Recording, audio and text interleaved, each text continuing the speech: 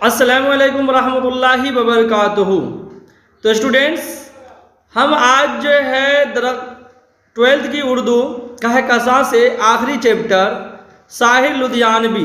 Chapter है गीत साहिर लुधियानवी की इनमें दो गीत है। एक गीत इन्होंने लिखा है तो हिंदू बनेगा ना मुसलमान बनेगा। और दूसरा गीत है, साथी हाथ बढ़ाना। आज हम इन दोनों चैप्टर से ऑब्जेक्टिव क्वेश्चन को हल करेंगे। स्टूडेंट्स अगर आप नए हैं तो हमारे चैनल को सब्सक्राइब करें और शेयर करना ना भूलें। तो स्टूडेंट्स आप एक एक क्वेश्चन को अच्छे से लिखेंगे क्योंकि इनसे सवाल बहुत ज़्यादा एग्ज़ाम में पूछे जाते हैं। तो शुरू करते हैं। हमारा पहला सवाल है साहिल लुधियानवी की पैदाइश कब हुई? ऑप्शन ए 8 मार्च 1812 में बी 8 मार्च 1912 सी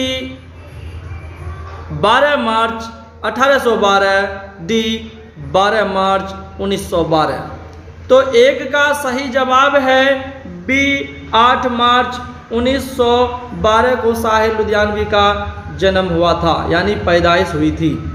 सवाल नंबर दो कहता है, साहिल लुधियानवी की पैदाइश कहाँ हुई थी? ए, लखनऊ में, बी, पटना में, सी दिल्ली में, डी, लुधियाना में। तो दो का सही जवाब है डी। इनकी पैदाइश लुधियाना, पंजाब में हुई थी। सवाल नंबर तीन है, साहिर लुधियानवी का असल नाम क्या था?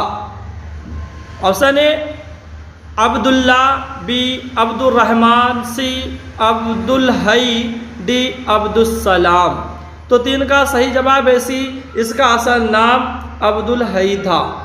सवाल नंबर चार कहता है साहिर के वालिद का नाम क्या था?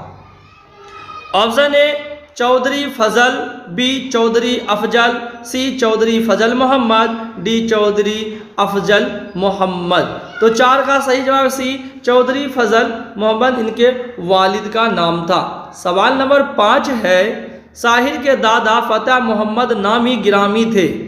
किस चीज़ में? ऑप्शन ए, वकील, बी, डॉक्टर, सी, सिपाही, डी, जमींदार। तो पाँच का सही जवाब है डी, जमींदार। यानी साहिर के लुधियानवी के जो दादा थे, फतेह मोहम्मद, वो एक जमींदार थे। तो स्टूडेंट्स पाँच के इन सवाल से इनके दादा का नाम भी पता चल गया कि इनके दादा का नाम था फतेह मोहम्मद। फतेह मोहम्मद। सवाल नंबर छः शाहिर के मामू का क्या नाम था? इन चैप्टर में इनके मामू के बारे में ज़िक्र किया गया है, इसलिए मैंने इस क्वेश्चन को दे दिया है। सवाल छः कहता है साहिर के मामू का क्या नाम था? Option A Abdul Rashid B Abdul Razzaq C Abdullah D Abdul Hai तो छः का सही जवाब है ए अब्दुल रसीद अब्दुल रसीद सवाल नंबर सात। कहता है साहिर ने उर्दू और फारसी का दर्स किस से लिया था? ऑप्शन ए अल्लामा इकबाल से बी फैयाज रफत से सी फैयाज हरगानवी से डी फजल मोहम्मद से। तो सात का सही जवाब है सी फैयाज हरगानवी से। सवाल नंबर आठ है, साहिर को किस साम्राज्य से नफरत थी? Option A बरतानवी, D Mughal, B Mughal, C Turki, D कोई नहीं। तो आठ का सही जवाब है ए बरतानवी सरकार से। सवाल नंबर नौ है, किस रिसाला अदब लतीफ़ के मदीर आला मुकर्र किया गया। किसे रिसाला अदीब लतीफ़ के मदीर आला मुकर किया गया? ऑप्शन ए कहता है, Sahir B Fateh Mohammad, C Fazal Mohammad, D कोई नहीं। तो नौ का सही जवाब है ए साहिर लुधियानवी को। सवाल नंबर हमारा दस कहता है कि सज्जाद जहीर अली सरदार जाफरी के हमरा साहिर मुंबई कब आए थे? ऑप्शन ए 1845 बी अठारह उन्नीस सौ चौवालीस, सी 1945 डी 1946 तो 10 का सही जवाब है सी 1945 में। सवाल नंबर 11 है, तकसीम हिंद के वक्त साहिर कहाँ थे? ऑप्शन ए बम्बई में, बी, दिल्ली में, सी, लाहौर, डी, कश्मीर में। तो 11 का सही जवाब है ए बम्बई में। बम्बई में। सवाल नंबर बारह। तकसीम हिंद के वक्त साहिर के दोस्तों ने उनकी माँ को कहाँ भेज दिया था? Option A Delhi, B Kashmir, C Bangladesh, D Pakistan. तो बारह का सही जवाब है डी। इनके दोस्तों ने इनके माँ को जब देश का बंटवारा हुआ तो उसे पाकिस्तान भेज दिया था। सवाल नंबर तेरह। शाहिर माँ की तलाश में कहाँ गए? Option A Karachi, B Lahore, C Kashmir, D Bombay तो तेरह का सही जवाब है बी लाहौर। यानी शाहिर लुधियानवी अपनी माँ की तलाश करते करते वो एक दिन पाकिस्तान यानी लाहौर जा पहुँचा। सवाल नंबर चौदह कहता है, रिसाला सवेरा किसका था? यानी किसने लिखा? Option A Chaudhary Fateh Mohammad, B Chaudhary Fazal Mohammad, C Chaudhary Nazir Mohammad, D Sahir Qadianvi. Sahir Ludhianvi. तो चौदह का सही जवाब है सी, चौधरी नज़ीर मोहम्मद। सवाल नंबर पंद्रह। लाहौर से दिल्ली आने पर साहिर किस रिसाला के मदीर मुकर हुए? ऑप्शन ए, साहरा, बी प्रेतलरी सी, अदब लतीफ़, डी, कोई नहीं। तो पंद्रह का सही जवाब है ए साहरा। सवाल नंबर सोलह है, साहिर को पद्म श्री का खिताब कब मिला? ऑप्शन ए उन्नीस सौ उनहत्तर में, बी 1970 सी 1971 डी उन्नीस सौ बहत्तर में। तो 16 का सही जवाब है सी 1971 में शाहिर लुधियानवी को पद्म श्री अवार्ड से नवाजा गया।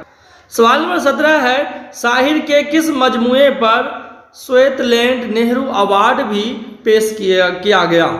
ऑप्शन ए, आओ कोई ख्वाब बुने बी, परछाइयाँ, सी, तलखियाँ, डी, गाता जाए बंजारा। तो सत्रह का सही जवाब है ए, आओ कोई ख्वाब बुने ये रिसाला पर जो इन्होंने लिखा था, मजमुआ, इन पर इसे श्वेतलैंड नेहरू अवार्ड भी पेश किया गया। सवाल नंबर अठारह कहता है, साहिर की वालदा का इंतकाल कब हुआ? ऑप्शन ए जुलाई 1974 में बी जुलाई 1975 सी जुलाई 1976 में डी जुलाई 1977 में। तो 18 का सही जवाब है सी जुलाई 1976 में। सवाल नंबर 19 शाहिर का इंतकाल कब हुआ? ऑप्शन ए कहता है 12 नवंबर 1980 में, बी 25 अक्टूबर 1980 सी 25 अक्टूबर 1981 में, डी 25 अक्टूबर उन्नीस में। तो 19 का सही जवाब है बी 25 अक्टूबर 1980 को साहिल लुधियानवी का भी इंतकाल हो गया।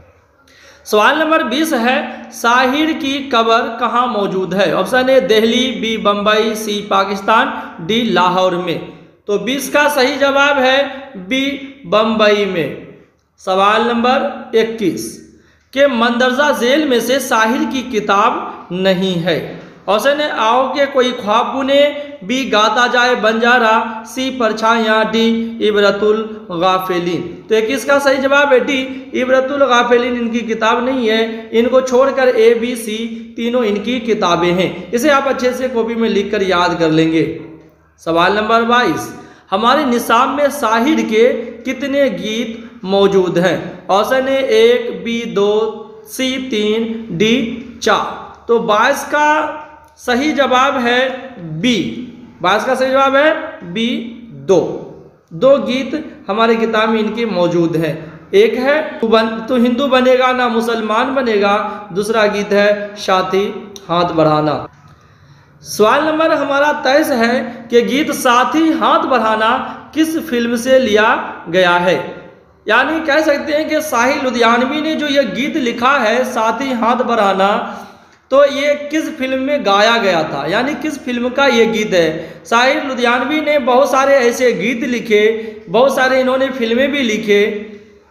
तो उन्हीं में से एक गीत भी है, साथ ही हाथ बढ़ाना तो वो किस फ़िल्म से लिया गया? यानी किस फ़िल्म के लिए वो इस गीत को लिखा था?